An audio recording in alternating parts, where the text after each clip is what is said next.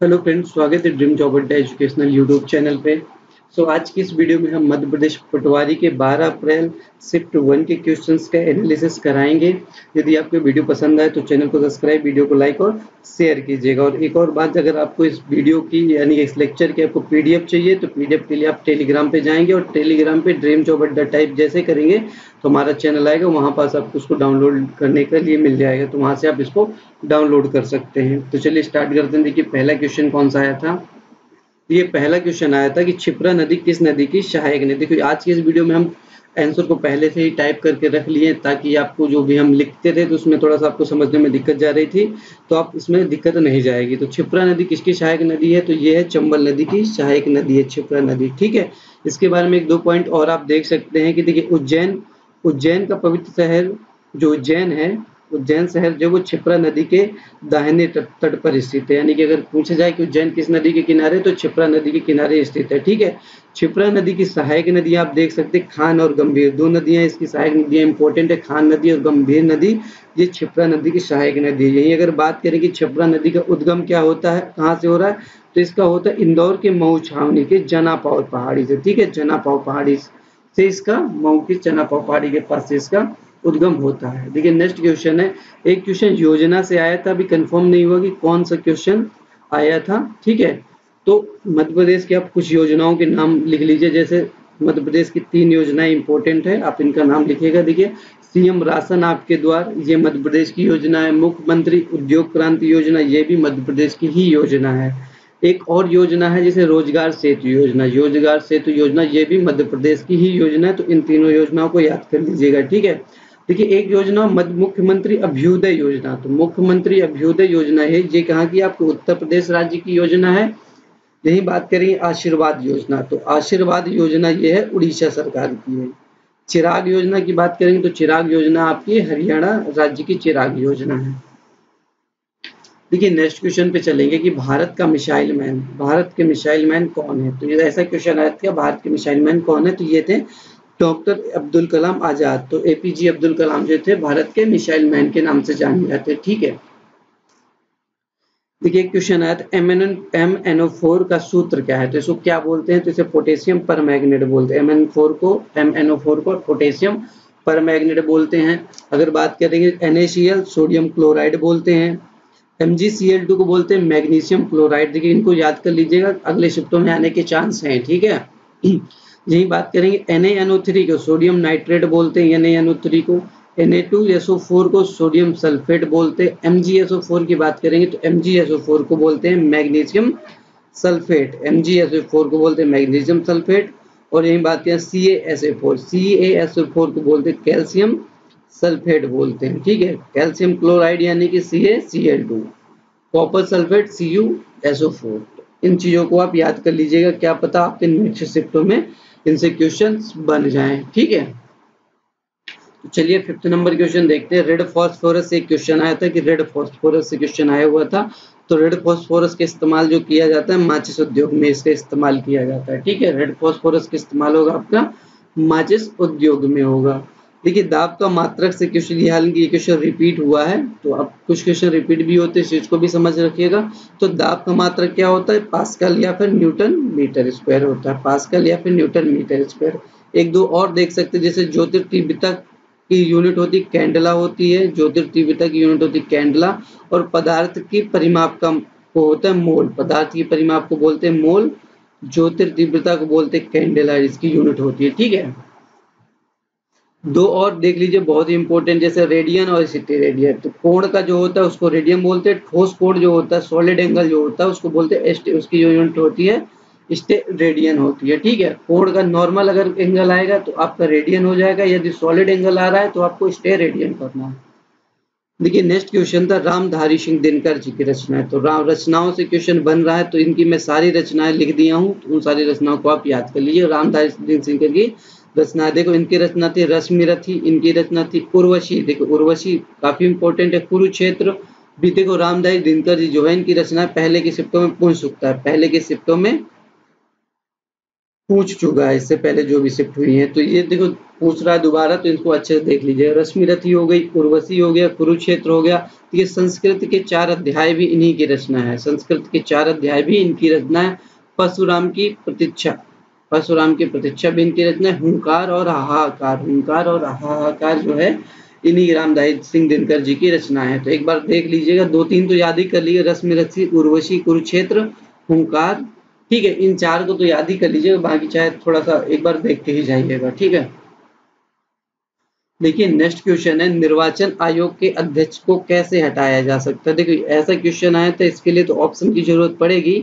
Option होगा तभी confirm हो पाएगा, लेकिन एक चीज़ समझ लीजिएगा, निर्वाचन आयोग का जो मुख्य मुख्य यानी कि अध्यक्ष की बात करें, मुख्य निर्वाचन आयुक्त हो गया, इसको उसी प्रोसेस से हटाया जाता है, जिससे सुप्रीम कोर्ट के जजों को हटाया जाता है। जैसे सुप्रीम कोर्ट के जज को जैसे हटाया जाता है, उसी प्रकार इसको भी हटाया जा सकता अगर इसके निर्वाचन आयोग, देखिए मुख्य अगर निर्वाचन आयोग की बात किया गया है, ठीक है, अगर नॉर्मल आयोग निर्वाचन आयुक्त जो है निर्वाचन आयुक्त को नॉर्मल जो होंगे, यानी कि देखो एक मेन निर्वाचन आयुक्त होगा और बाकी उसके साथ सहायक होंगे। तो बाकियों को हटाने के लिए जो मुख्य निर्वाचन आयुक्त होगा, ठीक है? मुख्य निर्वाचन आयुक्त जो होगा, निर्वाचन आयुक्त जो होगा, वो राष्ट्रपति जी को कहेगा और राष्ट्रपति जो होंगे वो इनको हटा सकते हैं। ठीक है, इस चीज़ को याद रखिएगा, जो मुख्य निर्वाचन आयुक्त को प्रोसेस वैसी है, जैसे कि सुप्रीम कोर्ट के जज को हटाने की और नॉर्मल उसके जो जो आयुक्त हो गए होंगे तो उनको ये जो होगा, मुख्य निर्वाचन आयुक्त राष्ट्रपति से इसकी वो करेगा और राष्ट्रपति से हटा देगा। ठीक है? देखिए, वेदों के नाम बताए। वेदों के नाम से क्वेश्चन आया था। कौन सा वेद आया था? चारों वेदों के नाम लिख लिए। ऋग्वेद हो गया, यजुर्वेद हो गया, सामवेद हो गया चार वेद हो ठीक है? ऋग्वेद, यजुर्वेद, सामवेद, अथर्ववेद। तो ये चारों वेद आप अच्छे से इनको याद कर लीजिए, ठीक है? ठीक है नेक्स्ट क्वेश्चन चलेंगे। देखिए, ऋग्वेद के बारे में एक चीज़ के बात कर लिख लीजिए सॉरी ये सबसे प्राचीन है, सबसे पहले यही होगा, है, सबसे पुराना वेद है, ऋग्वेद है। ठीक है, ऋग्वेद का सबसे पुराना वेद है वेद है ऋग्वेद है। ये देखो, पंचवर्षीय योजना की शुरुआत कब हुई थी? तो पंचवर्षीय योजना, देखिए, पहली पंचवर्षीय योजना जो आई थी उन्नीस सौ इक्यावन से लेकर उन्नीस सौ छप्पन तक हुई थी और लास्ट की जो पंचवर्षीय योजना हुई थी कौन सी हुई थी? 2012 से लेकर 2017 के बीच में ये लास्ट पंचवर्षीय योजना थी। अंतिम पंचवर्षीय योजना, अंतिम पंचवर्षीय योजना थी, ठीक है? 2000 बारह से 2017 तक। तो पहली पंचवर्षीय योजना आपकी आई थी उन्नीस से उन्नीस तक थी।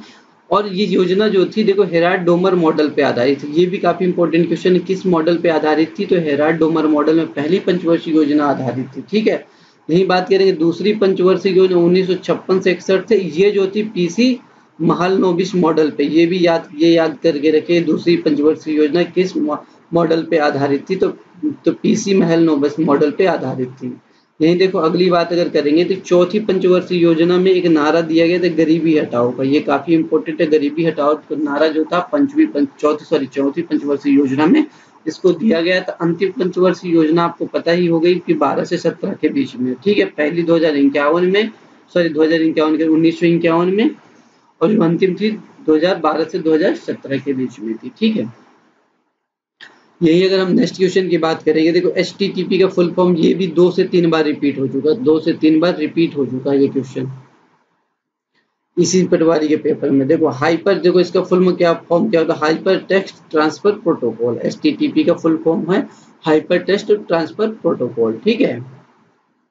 है कुछ और प्रोटोकॉल आप देख सकते प्रोटोकॉल कह रहे हो कुछ और आप फुल फॉर्म देख सकते जैसे A S C I A S C double I ये काफ़ी इंपॉर्टेंट है, ये भी पूछा जाता है। तो देखो ये क्या, सूचना एक्सचेंज के लिए अमेरिकी मानक कोड है, ठीक है? अमेरिकी मानक कोड है, सूचना एक्सचेंज के लिए A S C double I A T M का फुल एटीएम का फुल फॉर्म क्या है? ऑटोमेटिक ट्रेलर मशीन या फिर एसेंक्रोनस ट्रांसफ़र मोड या फिर ऑटोमेटिक टेलर मशीन ठीक है? A L U arithmetic logic unit यानी कि अंक गणितीय तर्क इकाई, अंक गणितीय तर्क इकाई बोलते हैं। बायोस जो basic input output system BIOS जो होगा बेसिक इनपुट आउटपुट सिस्टम ठीक है? देखिए नेक्स्ट जो होगा आपका बीपीएस ठीक है? ये होता है, इसको बोलते हैं बिट्स प्रति सेकंड बिट्स प्रति सेकंड तो इस इन चारों चीज़ों को, आप पाँचों चीज़ों को याद कर लीजिए तो ये काफ़ी इंपॉर्टेंट है। तो नेक्स्ट शिफ्ट में आने के इसके काफ़ी ज़्यादा चांस हो जाएँगे तो इसको अच्छे से याद कर लीजिएगा, ठीक है? देखिए, हम नेक्स्ट क्वेश्चन देखेंगे कि मध्य प्रदेश मध्य प्रदेश का पहला एयरपोर्ट कौन सा? तो पहला एयरपोर्ट था आपका इंदौर का एयरपोर्ट था, देवी अहिल्याबाई होलकर एयरपोर्ट मध्य प्रदेश का पहला एयरपोर्ट है इस इस समय अगर बात करेंगे मध्य प्रदेश में एयरपोर्टों की संख्या जो होगी एयरपोर्टों की संख्या पाँच एयरपोर्ट है, ठीक है? तो पाँचों एयरपोर्टों को आप देख सकते हैं, ठीक है? एक हो गया इंदौर का हो गया, दूसरा भोपाल। भोपाल के एयरपोर्ट का नाम भी याद कर लीजिए, देखिए, राजा भो, राजा भोज अंतरराष्ट्रीय हवाई अड्डा, अंतर्राष्ट्रीय हवाई अड्डा, ये भोपाल में है। यही बात करें जबलपुर में, जबलपुर हवाई अड्डा है, ठीक है? ग्वालियर में है, ग्वालियर हवाई अड्डा, खजुराहो हवाई अड्डा। ठीक है, ये पाँच हवाई अड्डे आप याद करके रखिए कि मध्य प्रदेश में टोटल कितने हवाई अड्डे हैं? तो मध्य प्रदेश में इस समय टोटल पाँच हवाई अड्डे हैं, ठीक है? ठीक है एक क्वेश्चन और है, समुद्र में म्यूज़ियम। देखिए, समुद्र में म्यूज़ियम किस राज्य में है? तो समुद्र में जो म्यूज़ियम बनाया जाएगा, वो किस राज्य में है? वो गुजरात राज्य में है, गुजरात राज्य में। एक और इम्पोर्टेंट पॉइंट याद रखिएगा कि पहली मेट्रो लिख लीजिए, पहली underwater underwater metro. Underwater metro, ये है कोलकाता मेट्रो। कोलकाता मेट्रो जो है, वो पहली अंडर वाटर मेट्रो है तो इसको भी आप काफ़ी ज़्यादा इंपॉर्टेंट क्वेश्चन है तो इसको याद करके रख सकते हैं। ठीक है? तो अभी तक तो इतने क्वेश्चन मिले हैं। शाम तक हम इसके सेकंड पार्ट की वीडियो भी बना देंगे। यदि आपको वीडियो पसंद है तो चैनल को सब्सक्राइब और लाइक कीजिएगा। और एक इम्पोर्टेंट और सूचना है कि हमने मध्य प्रदेश, देखिए, मध्य प्रदेश साइंस के अभी तक के पटवारी के जितने क्वेश्चन आए हैं, अभी तक के जितने भी क्वेश्चन आए हैं, लगभग कितना? पंद्रह मार्च से लेके सात अप्रैल तक। मतलब पंद्रह मार्च से लेके सात अप्रैल तक क्वेश्चन जितने हैं, उसकी वीडियो हम बना दिए हैं। तो उस वीडियो को जाके आप प्ले लिस्ट में जाके उसको देख सकते हैं उसकी लिंक हम डिस्क्रिप्शन में दे देंगे तो वहाँ से भी आप देख सकते हैं। तो क्या है कि क्वेश्चन कई रिपीट भी हो रहे हैं, ये तो देख ही रहे हैं तो कितने ज़्यादा क्वेश्चन रिपीट कम से कम दो तीन क्वेश्चन तो अभी तक चार पाँच हो ही जा रहे हैं क्वेश्चन टोटल की बात करें, किसी शिफ्ट में एक हो रहा है, किसी में दो हो तो हो ही रहे हैं, ठीक है? तो उसको एक बार ज़रूर देखिएगा जो आने वाले एग्ज़ाम को लिए काफ़ी ज़्यादा फ़ायदेमंद जिन बच्चों का आगे एग्ज़ाम है तो चलिए थैंक यू